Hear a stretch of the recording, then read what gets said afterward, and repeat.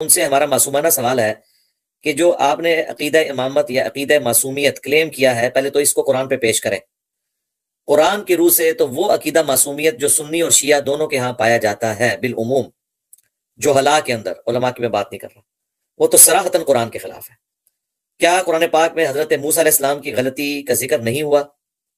انہوں نے اللہ سے معافی نہیں مانگی، جو ان سے بندہ مر گیا تھا ایک قبطی ایک لڑائی کے دوران۔ آپ کہتے ہیں کہ دلیل کا عمل لیتے ہیں دلیل قرآن سے۔ اختصار کے ساتھ بہت اختصار کے ساتھ۔ انما يريد الله ليذهب عنكم الرجس اهل البيت ويطهركم تطهيرا سب مسلمین کا اجماع میں آپ سے مطالبہ کرتا ہوں کہ ایک حدیث لا کے آؤ لے مجھے دکھاؤ کہ رسول اللہ صلی اللہ علیہ وآلہ وسلم جو آیات اس سے پہلے ہی آگے ہوں اس سے آئے ان, ان کے کانٹیکس میں رسول اللہ صلی اللہ علیہ وآلہ وسلم نے اس آیت کی تلاوت کی ہو۔ مجھے تانا دیا ہے بعض لوگوں نے کہ تم نے آئی آدھی روایت پڑھی ہے۔ اگر یہ ایک آیت کیا ہے؟ یہ کوئی یہ کوئی حدیث تو نہیں ہے۔ آیت کیا ہے؟ جنہوں نے قرآن لکھا ہے، انہوں نے اس کو آیت آیت قرار دیا۔ رسول پاک صلی اللہ علیہ وسلم نے ہمیشہ اس کو منفردن پڑھا ہے۔ ہمیشہ منفردن پڑھا۔ ایک روایت دکھائیے نا آپ، کہ اس کو ازواج والی آیات کے ساتھ پڑھا ہو، یا ان کے کانٹیکس میں پڑھا ہو، یا یہ ترتیب رسول اللہ صلی اللہ علیہ وسلم کی جانب سے ہے۔ وہ تو ہے نہیں تمہارے پاس۔ تیس سے زیادہ صحابیوں نے روایت کی ہے کہ اس آیت کو، اسی مقدار کو رسول پاک صلی اللہ علیہ وسلم نے مقرر خمسہ طیبہ علیہ السلام کے لیے پڑھا ہے۔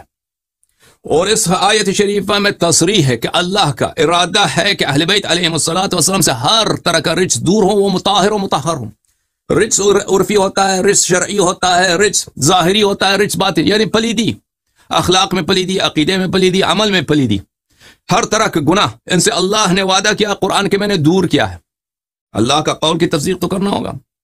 اگر ہر ان کے عمل میں خطا نہیں، ان کے عمل میں گناہ نہیں، ان کے فعل میں گناہ نہیں، ان کے قول میں گناہ نہیں، ان کے قول میں خطا نہیں، ان کے قول میں کسی طرح کا اللہ کا غیر مرضی رجز نہیں ہے، تو ثابت ہوا کہ ان کی عصمت یعنی یہ جو کہیں وہی کرو۔ امامت کا ہی مطلب ہے۔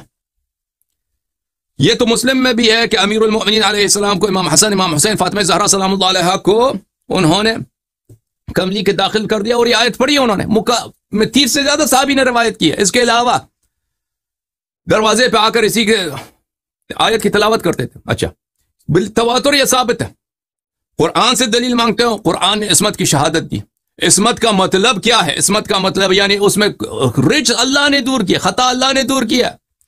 یعنی جو یہ کہیں گے وہ صحیح ہے۔ رچ، ان کے قول میں، ان کے گفتار میں کوئی اللہ کی غیر مزید چیز نہیں ہے۔ یعنی عصمت۔ جو معصوم ہے، جو شخص کوئی کبھی خطا نہیں کرتا اور کبھی آپ کو اللہ کے غیر پسندیدہ بات آپ کا حکم نہیں، جو کہتا ہے وہ صحیح ہے۔ یعنی وہ نہایت جس طرح رسول صلی اللہ علیہ وسلم قابل اطمینان، قابل وسوخ، وہ اسی طرح قابل وسوخ ہے تو پتہ یہ چلا، تو پتہ یہ چلا میرے بھائی کہ اہل بیت طاہرین علیہ السلاۃ وسلم طاہر متحر معصوم ہیں۔ اور ان کے ہر فعل پہ ان کے ہر فعل کے اقتدا کریں تو آپ نے حق کی اتباع کیا ان کے ہر قول کی اتباع کریں تو اس کے، ان کا قول، ہر قول صحیح ہے۔ امامت کا مطلب ہی یہی ہے۔